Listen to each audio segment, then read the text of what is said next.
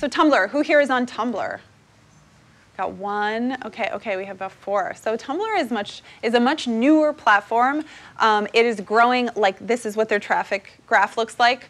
It is especially great for visual content. It is especially great for reaching young people. It lets you share things really quickly. This is great for the very short attention span type of content. You can post text, photos, quotes, links, music, videos, but it's usually just the video or just the quote. It's not a long blog, blog post with 500 words talking on and on about something. It's just the content.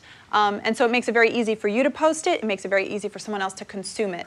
And the great thing is that for each, you, you pick what the thing is you're posting before you post it, and Tumblr puts it in it, each is formatted individually for that type of content. So each video looks really good. Each quote is blown up and bold and looks really graphic and interesting. And basically, it's another way you don't need to know how to code, and you can create a beautiful website, and you can share a lot of information. So you can customize almost everything, from the colors to the fonts to the, to the lines. There's also a range of both paid and free templates that, that um, offer you a lot of different options. Um, so it probably is the most beautiful looking blog you can imagine. Similar to Twitter and Facebook, you can follow other people's blogs, and when you go to your dashboard on Tumblr, you see in chronological order, here's all the things that people I'm, I'm following have posted here. But also, people don't even need to be on Tumblr to find content. So if your users don't use Tumblr, they can still access your website and see everything you've posted.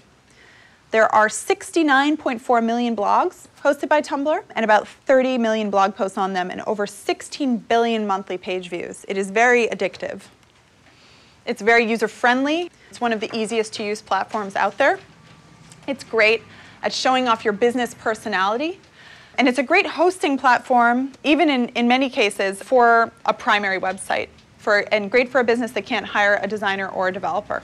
You can also engage with your customers in a great way using the Tumblr Ask function. So people can post a question or a comment to you, and you will get those every, uh, you know, as they come in. And when you respond to them, they're publicly posted on your website so that you can respond in a public forum where maybe you're answering that same question that a lot of people have in public. You can also encourage people to contribute to your Tumblr blog through the submit function. So other people can post an image or a piece of text, and if it's up to your standards, you can put it on your blog as well to help to encourage a community. So it's not just a broadcast communication. When you post something on Tumblr, you get to see the reaction as it comes. So people will either like something with a little heart button, or they will reblog it on their own Tumblr post. And that's how content can really go viral. I'm sure a lot of you have heard that term. Um, so if you have a great photo or something along those lines, one person can discover it and they reblog it and they put it on their blog. And then another person does and they reblog it, and it has this exponential effect of possibly reaching really tons and tons of people, especially the better your content is. The other thing you do is when you post something, you add tags, which are like hashtags like you saw on Twitter saying, this is what this is about. Except since you have no limit to how many tags you add, you can add a whole bunch of them to describe exactly what's there, and people searching for those tags will find them. So for example, we have the nycgov.tumblr.com Tumblr, and we regularly search for all the names of the five boroughs to see what photos people are posting. And when we find a beautiful photo, we'll repost it. So if you create, if you, wherever your business is, post a great photo of your small business, we could find it and end up reblogging it because we think it's a great way to show off uh, New York City through the eyes of New Yorkers. Here are some examples of how you could use the different formats, the media formats on Tumblr for your business. So text. You could explain rules for an upcoming contest, or you could make an announcement photo. You could have a product image, a photo of your team, a picture of a celebrity wearing or using your product. That also always does very well on Tumblr. A dish at your restaurant. People love food on Tumblr, and it's a whole vertical that people follow very closely. Um, food and fashion are especially large on Tumblr. A quote, so a one-liner that your fans just need to hear, maybe something that a customer said who was recently visiting your business.